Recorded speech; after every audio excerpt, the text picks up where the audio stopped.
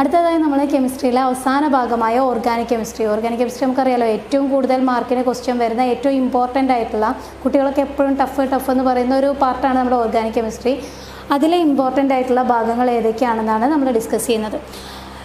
അതിൽ ഒന്നാമത്തെ പാർട്ട് എന്ന് പറയുന്നത് നെയ്മിംഗ് ആണ്. ഓർഗാനിക് കെമിസ്ട്രിയിലെ ബേസിക് കൺസെപ്റ്റും ഹൈഡ്രോ കാർബണും കൂടി ക്ലബ് ചെയ്തിട്ടാണ് ഞാൻ പറയുന്നത്. അപ്പോൾ അതിൽ ഏറ്റവും ഇമ്പോർട്ടന്റ് ആയ ഒരു ഭാഗമാണ് നെയ്മിംഗ് നെയ്മിങ്ങിൽ നമുക്ക് സിമ്പിളായിട്ടുള്ള ചിലപ്പോൾ ക്വസ്റ്റ്യൻസ് വരാം അല്ലെങ്കിൽ നല്ല ടഫായിട്ടുള്ള ക്വസ്റ്റ്യൻസ് വരാം. അപ്പോൾ നെയിമിംഗ് നിങ്ങൾ പഠിക്കുമ്പോൾ പ്രീവിയസ് ക്വസ്റ്റ്യൻ പേപ്പറിൽ ഏതൊക്കെ കോമ്പൗണ്ടിന്റെ നെയിമിംഗ് ആണോ ചോദിച്ചിട്ടുള്ളത് അതൊക്കെ ഒന്ന് നോക്കാം. പിന്നെ നമുക്കറിയാമോ ആൽഡിഹൈഡും കാർബോസിലിക് ആസിഡും രണ്ടും കൂടെ ഒരു ഗ്രൂപ്പിൽ വരികയാണെങ്കിൽ അതിൽ നമുക്ക് രണ്ട് രണ്ട് എന്താ പ്രയോറിറ്റിയുടെ ഓർഡർ നമ്മൾ പഠിക്കേണ്ടത് ആ പ്രയോറിറ്റിയുടെ ഓർഡറിനെ ബേസ് ചെയ്തിട്ട് വേണം നമ്മൾ എന്ത് ചെയ്യാൻ നെയിം ചെയ്യാൻ. പിന്നെ അതുപോലെ തന്നെ നമ്മളിങ്ങനെ ബോണ്ട് ലൈൻ റെപ്രസെന്റേഷൻ ഉണ്ട്. അതുപോലെ തന്നെ കംപ്ലീറ്റ് റെപ്രസെന്റേഷൻ ഉണ്ട്. അതുപോലെ കണ്ടൻസ്ഡ് ഫോർമുല ഉണ്ട്. ഇങ്ങനെ നമുക്ക് ഒരു ബോണ്ട് ലൈൻ റെപ്രസെന്റേഷൻ തന്നിട്ട് ഈ കോമ്പൗണ്ടിന്റെ പേരേതാണെന്ന് ചോദിക്കും. അപ്പോൾ നമ്മൾ ചെയ്യേണ്ട കാര്യം നമുക്കറിയാലോ. ഇവിടെയൊക്കെ സീൻ അങ്ങനെ ഇട്ട് കൊടുക്കുക ഒരു സാധാരണ പോലെ അത് ഏതാണ് കോമ്പൗണ്ട് എന്നുള്ളത് നമ്മൾ എന്ത് ചെയ്യുക ഐഡന്റിഫൈ ചെയ്യാം. അടുത്തത് നമ്മൾ ഐസോമറിസ് ആണ്. ഐസോമറിസത്തിൽ പ്രധാനമായിട്ടും പഠിക്കാനുള്ളത് chain isomerism position isomerism functional isomerism metamerism. ഈ നാല് ഐസോമറിസംസ് ആണ് നമുക്കിവിടെ ഡിസ്കസ് ചെയ്യാനുള്ളത്. അതിൽ ചെയിൻ ഐസോമറിസം കാണിക്കുന്നത് കാർബണും ഹൈഡ്രജനും മാത്രമുള്ള കോമ്പൗണ്ട്സ് ആയിരിക്കും. ഇനി പൊസിഷൻ ഐസോമറിസം എന്ന് പറഞ്ഞാൽ സെയിം ഫങ്ഷണൽ ഗ്രൂപ്പ് ആവും അതിലുണ്ടാവുക. പക്ഷേ ആ ഫങ്ഷണൽ ഗ്രൂപ്പിന്റെ പൊസിഷനിൽ ചെറിയ വ്യത്യാസം ഉണ്ടാവും. ഇനി ഫങ്ഷണൽ ഐസോമറിസം എന്ന് പറഞ്ഞാൽ നമ്മൾ ശ്രദ്ധിക്കേണ്ട കാര്യം നോക്കടോ സി സി എച്ച് ഒ ആണെങ്കിൽ അതിന്റെ ഫങ്ഷണൽ ഐസോമർ സി ഒ ആയിരിക്കും. സി എച്ച് ഒ ആണെങ്കിൽ അതിന്റെ ഫങ്ഷണൽ ഐസോമർ സി ഒ ആയിരിക്കും. അപ്പോൾ കളഞ്ഞു. സി ഒ ഒ എച്ച് ആണെങ്കിൽ അതിന്റെ functional isomer C O O ആയിരിക്കും. ആ കളഞ്ഞു. ഒ എച്ച് ആണെങ്കിൽ അതിന്റെ functional isomer O O H വരുന്നത് ആൽക്കഹോളാണ് ഒ വരുന്നത് ഏതാണ്? ഈത്തർ ആണെന്ന് നമുക്കറിയാം. അപ്പോൾ അങ്ങനെ ഫങ്ഷണൽ ഗ്രൂപ്പ് വ്യത്യസ്തമായി വരുന്ന ഐസോമറിനെ നമ്മൾ പറയുന്ന പേരാണ് എന്ത്? ഫങ്ഷണൽ ഐസോമറിസം ഓക്കെ ഇനി നമ്മൾ ബോണ്ട് പൊട്ടുന്ന രീതിനെ പറയുന്ന പേരാണ് ഫിഷൻ അപ്പോൾ ഈ സി എൽ ടു എന്ന് പറഞ്ഞാൽ C L single bond C L ആണല്ലോ. ഈ സി എൽ ടുവിൽ ഇവിടെ ഇലക്ട്രോൺ പെയറിന്റെ ഇലക്ട്രോൺസിന്റെ ഷെയറിംഗ് ആണ്. അപ്പോൾ ഈ ബോണ്ട് ഞാനിതാ ഇവിടെ ഇങ്ങനെ ബ്രേക്ക് ചെയ്യാണ്. അപ്പോൾ ഇതിന് ഇലക്ട്രോണിന് കിട്ടി ഇതിന് ഇലക്ട്രോണിന് കിട്ടി. എനിക്ക് കിട്ടി അവനക്ക് അവന്റെതും കിട്ടി. ഓക്കെ അപ്പോൾ അങ്ങനെ ഇലക്ട്രോണിന് നമ്മൾ എന്താ പറയുക ബോണ്ട് നമ്മൾ ഒരേപോലെ ബ്രേക്ക് ചെയ്യുകയാണെങ്കിൽ അതിനെ പറയുന്ന പേരാണ് ഹോമോലൈറ്റിക് ഫിഷൻ അപ്പോൾ ഇവിടെ റാഡിക്കൽസ് ആണ് ഫോം ചെയ്യുന്നത്. ഫ്രീ റാഡിക്കൽസ് ആണ് ഇവിടെ ഫോം ചെയ്യുന്നത്. എന്നാൽ ഈ ബോണ്ട് ബ്രേക്ക് ചെയ്തത് ഈ സി എൽ ഈ ഇലക്ട്രോണിനെ ഇതിന് ഡൊണേറ്റ് ചെയ്തു. അപ്പോൾ അങ്ങനെ ഡൊണേറ്റ് ചെയ്യുമ്പോൾ ഈ സി എല്ലിന് ഏത് ചാർജ് ആണോ? പോസിറ്റീവ് ചാർജ് പോസിറ്റീവ് ചാർജ് ഉള്ളതിന് നമ്മൾ പറയുന്ന പേരെന്താ? കാറ്റിയോൺ രണ്ടാമത്തത് ഏതാണ്? നെഗറ്റീവ് ചാർജ് നെഗറ്റീവ് ചാർജ് ഉള്ളതിനെ പറയുന്ന പേരാണ് ആനയോൺ അപ്പോൾ ഇവിടെ ഒരു കാറ്റിയോണും ആനയോണും ഫോം ചെയ്തു. ഇതിനെ പറയുന്ന പേരാണ് എന്ത്?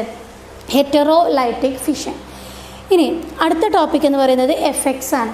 എഫക്ട്സിൽ ഇൻഡക്റ്റീവ് എഫക്റ്റ് ഉണ്ട് മീസോമറിക് എഫക്റ്റ് ഉണ്ട് അതുപോലെ തന്നെ ഹൈപ്പർ കോൺജുക്കേഷൻ എഫക്റ്റ് ഉണ്ട്. ഈ മൂന്ന് എഫക്റ്റുകളാണ് പ്രധാനമായിട്ടും ഇവിടെ പഠിക്കാനുള്ളത്.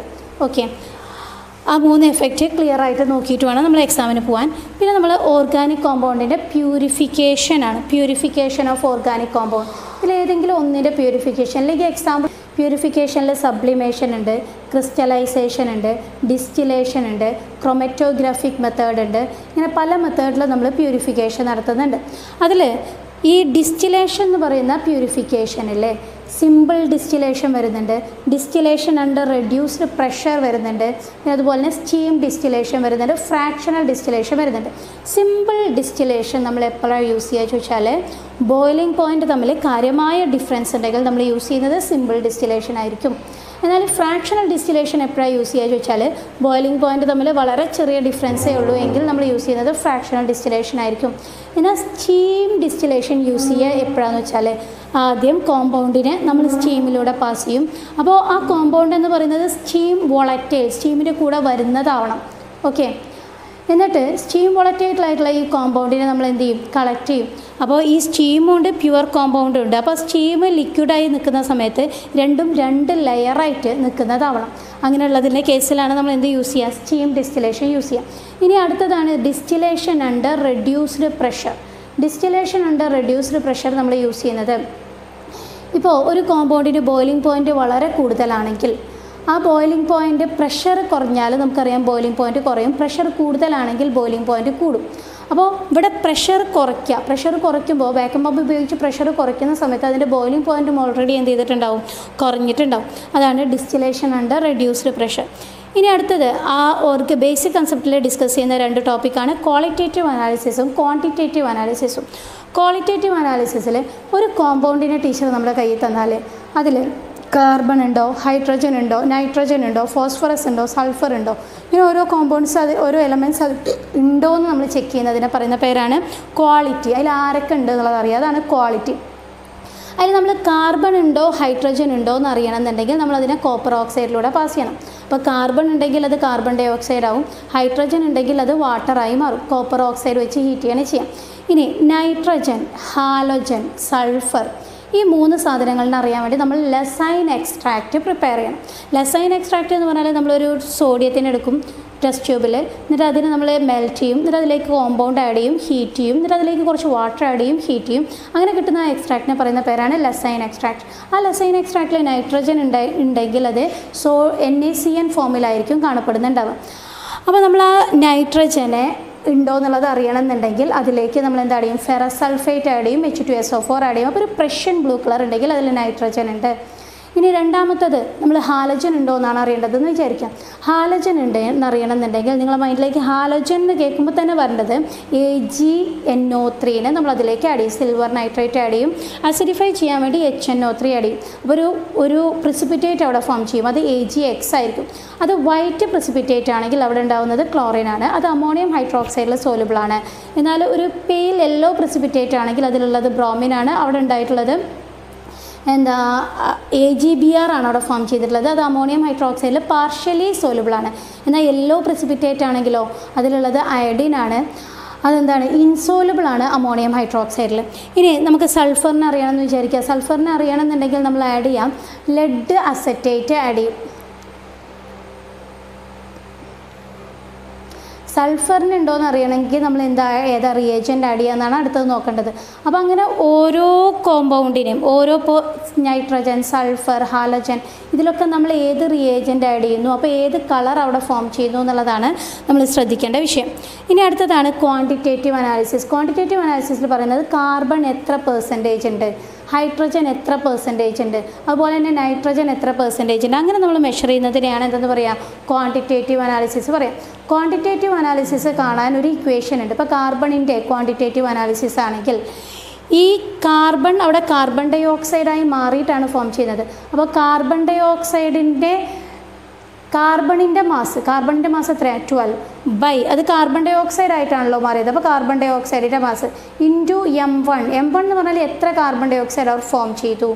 ബൈ എം ഇന്റു ഹൺഡ്രഡ് അങ്ങനത്തെ ഫോമില ആ ഇക്വേഷൻ വെച്ചിട്ടാണ് നമ്മൾ എന്ത് ചെയ്യുക? Quantitative analysis carbon dioxide ചെയ്യാം അതിന് ഓരോന്നിന്റെയും ക്വാണ്ടിറ്റേറ്റീവ് അനാലിസിസ് ചെയ്യുന്നതുണ്ട്. ക്വാണ്ടിറ്റേറ്റീവ് അനാലിസിസിൽ ഏറ്റവും ഇമ്പോർട്ടന്റ് ആയിട്ടുള്ളതാണ് നൈട്രജന്റെ ക്വാണ്ടിറ്റേറ്റീവ് അനാലിസിസ് നൈട്രജന്റെ ക്വാണ്ടിറ്റേറ്റീവ് അനാലിസിസിൽ രണ്ട് മെത്തേഡ് ഉണ്ട്. ഒന്ന് ഡ്യൂമാസ് മെത്തേഡും രണ്ടാമത്തത് ജൽദാസ് മെത്തേഡും ഡ്യൂമാസ് മെത്തേഡ് എന്ന് പറയുമ്പോൾ അതിൽ നമ്മൾ ശ്രദ്ധിക്കേണ്ട കാര്യം നൈട്രജനെ എൻ ടു ഗ്യാസ് ആക്കി മാറ്റിയിട്ടാണ് നമ്മളവിടെ എന്ത് ചെയ്യുന്നത്? ടെസ്റ്റ് നടത്തുന്നത്. ഇനി ജൽദാസ് മെത്തേഡിലാണെങ്കിൽ നൈട്രജനെ എൻ എച്ച് ത്രീ ആക്കി മാറ്റിയിട്ടാണ് അവിടെ ടെസ്റ്റ്. ഇനി ഒന്നും അറിയാത്ത കുട്ടിയാണെങ്കിൽ തന്നെ ഇത് എഴുതി വെച്ചാൽ അത്യാവശ്യം ഒരു മാർക്ക് നമുക്ക് കിട്ടും. ഇനി ഇവിടെ ശ്രദ്ധിക്കേണ്ടത് ഇലക്ട്രോഫൈൽ എന്ന് പറയുന്ന സംഭവമുണ്ട്. ന്യൂക്ലിയോഫൈൽ എന്ന് പറയുന്ന സംഭവമുണ്ട്. നമുക്കറിയാലോ. എന്താണ് ഇലക്ട്രോഫൈൽ എന്ന് വെച്ചാൽ ഇലക്ട്രോഫൈൽ എന്ന് വെച്ചാൽ ഇലക്ട്രോൺ ലവിങ് സ്പീഷീസ് ആണ്. ഇലക്ട്രോണിനോട് ലവ് ഉണ്ടാവണം എന്നുണ്ടെങ്കിൽ അതിന്റെ ചാർജ് എന്തായിരിക്കും? ഇലക്ട്രോണിന്റെ ഓപ്പോസിറ്റ് ചാർജ് ആയിരിക്കും അതായത് പോസിറ്റീവ് ചാർജ് ആയിരിക്കും. അതായത് സി എൽ പ്ലസ് എന്ന് പറയുന്നത് അത് ഇലക്ട്രോഫൈലാണ് എന്നാൽ സി എൽ മൈനസ് എന്ന് പറഞ്ഞാൽ അതിന്റെ ചാർജ് നെഗറ്റീവാണ് അപ്പോൾ അത് ന്യൂക്ലിയസിനോടാണ്. Attraction so this is nucleophile അപ്പോൾ പിന്നെ ഇലക്ട്രോഫൈൽ എന്താണ്? ന്യൂക്ലിയോഫൈൽ എന്താണ്? അത് കുറേ എണ്ണം തന്നിട്ട് ഇതിൽ ഏതാണ് ഇലക്ട്രോഫൈൽ ഏതാണ് ന്യൂക്ലിയോഫൈൽ ചോദിക്കുകയാണെങ്കിൽ പോസിറ്റീവ് ചാർജ് ഉള്ളതൊക്കെ ഇലക്ട്രോഫൈലാണ് നെഗറ്റീവ് ചാർജ് ഉള്ളതൊക്കെ ന്യൂക്ലിയോഫൈലാണ് നമ്മളോട് തരും. ബി സി എൽ ത്രീനെ തരും. ഇതിന് ചാർജൊന്നുമില്ല നമ്മളെങ്ങനെ ന്യൂക്ലിയർ ഫൈലാണോ എന്ന് കണ്ടെത്താം അപ്പോൾ നമ്മൾ നോക്കുക. ബി സി എൽ ത്രീ എന്ന് പറയുന്നത് ഇലക്ട്രോൺ റിച്ച് ആണോ ഇലക്ട്രോൺ ഡെഫിഷ്യന്റ് ആണോ ഇലക്ട്രോൺ പ്രിസൈസ് ആണോ നോക്കുക.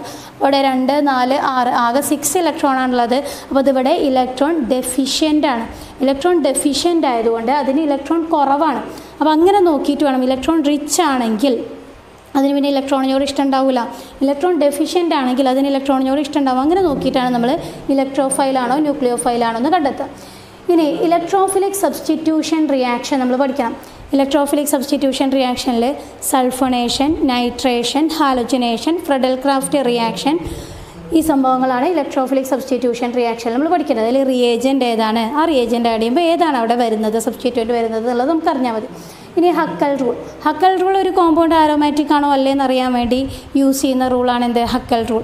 Four N plus two pi electron ഉണ്ടാവണം. Four N plus two pi electron ഉണ്ടെങ്കിൽ അതെന്താണ്? ആരോമാറ്റിക് ആണെന്നാണ് ഇതിൽ നമ്മൾ സിമ്പിളായിട്ട് പറയുന്നത്. ഇനി ജിയോമെട്രിക്കൽ ഐസോമറിസം ഇപ്പോൾ ഒരു ഡബിൾ ബോണ്ടുള്ള കോമ്പൗണ്ട് ആണെങ്കിൽ നോക്കണോ?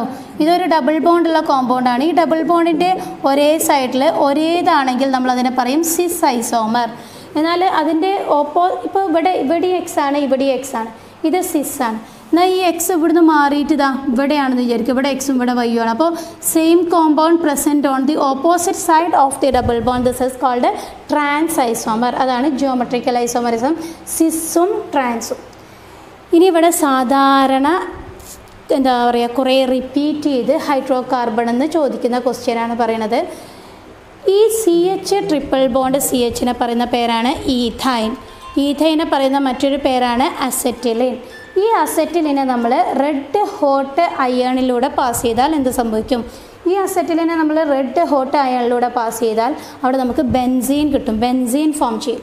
അപ്പോൾ ഇവിടെ ഇതിനെ റെഡ് ഹോട്ട് അയേണിലൂടെ പാസ് ചെയ്താൽ നമുക്ക് കിട്ടുന്നത് ബെൻസീനാണ് ഇതൊരു റീ റിപ്പീറ്റ് ക്വസ്റ്റ്യൻ ആണ്. How can you convert acetylene to benzene ഇനി ഇവിടെ നമുക്കറിയാലോ മാർക്കോണിക് ഓഫ് റൂൾ ഇമ്പോർട്ടന്റ് ആയ ഒരു സംഭവമാണ്.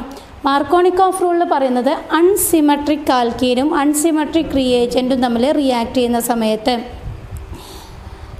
പറയണം അൺസിമെട്രിക് കാൽക്കീനും അൺസിമെട്രിക് റിയേജന്റും തമ്മിൽ റിയാക്ട് ചെയ്യുന്ന സമയത്ത് ഇവിടെ എവിടെയാണോ കൂടുതൽ കാർബൺ ഉള്ളത് കൂടുതൽ കാർബൺ ഉള്ള ഹൈഡ്രജൻ ഏതാണോ അതിന്റെ അടുത്തേക്ക് പോസിറ്റീവ് പാർട്ടുള്ള റിയേജന്റ് പോവും ഇതിനെ പറയുന്ന പേരാണ് എന്ത്? മാർക്കോണിക് ഓഫ് റൂൾ അടുത്തത് ഓസോണോളിസിസ് ആണ്. ഓസോണോളിസിസ് എന്ന് പറഞ്ഞാൽ നിങ്ങൾക്ക് എല്ലാവർക്കും അറിയാം ഓസോണോയിഡ് ഫോം ചെയ്യുന്ന റിയാക്ഷനാണ് ആ സംഭവം എന്തായാലും പഠിച്ചിട്ട് വേണം നമ്മൾ എക്സാമിന് പോകാൻ പിന്നെ ഇവിടെ ശ്രദ്ധിക്കേണ്ട ഒരു കാര്യം C six H six chromium oxide ആയിട്ടോ അല്ലെങ്കിൽ വനേഡിയം ഓക്സൈഡുമായിട്ടോ അല്ലെങ്കിൽ മോളിബ്ഡിനം ഓക്സൈഡുമായിട്ടോ ഈ ടെമ്പറേച്ചറും ഈ പ്രഷറുമായിട്ട് റിയാക്ട് ചെയ്യുന്നുണ്ടെങ്കിൽ എന്ത് സംഭവിക്കുന്നു വെച്ചാൽ അവിടെ ഇതിന്റെ സി സിക്സ് എച്ച് സിക്സിന്റെ സി സിക്സ് എച്ച് സിക്സ് അല്ല എച്ച് ഫോർട്ടീൻ ഓക്കെ ഹെക്സൈൻ ഈ ഹെക്സൈനിന്റെ ആരോമാറ്റിക് കോമ്പൗണ്ട് ആയിട്ടുള്ള സി സിക്സ് എച്ച് സിക്സ് അതായത് ഇവിടെ ബെൻസീൻ ഫോം ചെയ്യും. എന്നാൽ ഇവിടെ ഇവിടെ ഉള്ളത് അതായത് ഇവിടെ നടന്നത് ആരോമാറ്റൈസേഷനാണ് ഇവിടെ C six H fourteen anhydrous A L C L ത്രീയും എച്ച് സി എല്ലുമായി റിയാക്ട് ചെയ്യുകയാണെങ്കിൽ അങ്ങനെ റിയാക്ട് ചെയ്യുകയാണെങ്കിൽ അവിടെ നടക്കുന്നത് ഐസോമറൈസേഷൻ ആയിരിക്കും. ടു മീത്തൈൽ പെന്റൈനും ത്രീ മീത്തൈൽ പെന്റൈനും ആയിരിക്കും ഇവിടെ ഫോം ചെയ്യുന്നത്. അടുത്തതിന്റെ കുട്ടികൾ നോക്കുന്നത് വുഡ്സ് റിയാക്ഷൻ വുഡ്സ് റിയാക്ഷൻ എന്ന് പറഞ്ഞിട്ടുണ്ടെങ്കിൽ നമുക്കറിയാം ആൽക്കൈൽ ഹാലയുടെ മെറ്റാലിക് സോഡിയായിട്ട് ഈഥറിന്റെ പ്രസൻസിൽ റിയാക്ട് ചെയ്യുന്ന റിയാക്ഷൻ പറയുന്ന പേരാണ് വുഡ്സ് റിയാക്ഷൻ അവിടെ എത്ര എത്ര എന്താ പറയുക കാർബൺ ഉണ്ടായിരുന്നു അതിന്റെ ഡബിൾ കാർബൺ ഉള്ള ആൽക്കെയിന് ഫോം ചെയ്യും. വുഡ്സ് റിയാക്ഷൻ എന്തായാലും പഠിച്ചിട്ടുണ്ടാവണം. അതുപോലെ തന്നെ വേറെ ലാസ്റ്റ് വൈൻഡപ്പ് ചെയ്യാണ്. അവസാനമായിട്ടുള്ള ഒരു ക്വസ്റ്റ്യനും കൂടെയാണ് ഞാൻ പറയുന്നത്. C H three C H two C L ഈ സാധനം എന്ന് പറയുന്നത് ഒരു ഹാലോ അൽക്കെയിൻ ആണെന്ന് നമുക്കറിയാം. ഇനി ഇത് റിയാക്ട് ചെയ്തത് അക്വസ് കെ ഒ എച്ചുമായിട്ടാണെങ്കിൽ നിങ്ങൾ ചെയ്യേണ്ടത് ഈ സി എല്ലിനെ മാറ്റിയിട്ട് അവിടെ ഒ എച്ചിനെ ചേർത്ത് കൊടുക്കുക. എന്നാൽ ഈ സാധനം റിയാക്ട് ചെയ്തത്? ആൽക്കഹോളിക് കെ ഒ എച്ചുമായിട്ടാണെങ്കിൽ ഇതാണ് നമ്മൾ എന്തായാലും പഠിക്കുന്നത്. ആൽക്കഹോളിക് കെ ഒ എച്ചുമായി ഇവിടെ റിയാക്ട് ചെയ്യുമ്പോൾ ബീറ്റ എലിമിനേഷൻ റിയാക്ഷൻ നടക്കും. അതായത് ഹാലജൻ കണക്ട് ചെയ്തിട്ടുള്ള ഈ കാർബൺ ആൽഫ തൊട്ടടുത്ത പൊസിഷനിലുള്ള കാർബൺ ബീറ്റ ആൽഫ പൊസിഷനിൽ നിന്ന് ഈ ഹാലോജൻ പോവും. ബീറ്റ പൊസിഷനിൽ നിന്ന് ഈ ഹൈഡ്രജൻ പോവും. അങ്ങനെ അവിടെ എന്ത് ഫോം ചെയ്യും? ഡബിൾ ബോണ്ടുള്ള ആൽക്കീൻ അതായത് ഇവിടെ പറയുകയാണെങ്കിൽ ഈഥീൻ ഫോം ചെയ്യും. ഓക്കെ അപ്പോൾ നമ്മൾ ഇന്ന് ഡിസ്കസ് ചെയ്തത് കെമിസ്ട്രിയിലെ ഓരോ ചാപ്റ്ററിലെയും ഇമ്പോർട്ടന്റ് ആയ ക്വസ്റ്റ്യൻസും അതിനെ നമ്മൾ എങ്ങനെ ആൻസർ ചെയ്യണം എന്നുള്ള ഒരു ഷോർട്ട് മെത്തേഡാണ് അല്ലെങ്കിൽ എന്തൊക്കെയാണ് അതിൽ ഇമ്പോർട്ടന്റ് എന്നുള്ളതാണ് നിങ്ങൾക്ക് പറഞ്ഞു തന്നത്. ഈ ഭാഗങ്ങളൊക്കെ നിർബന്ധമായി നോക്കിയിട്ട് വേണം നമ്മൾ എക്സാമിന് പോകാൻ അപ്പോൾ എല്ലാവർക്കും ഓൾ ദി ബെസ്റ്റ്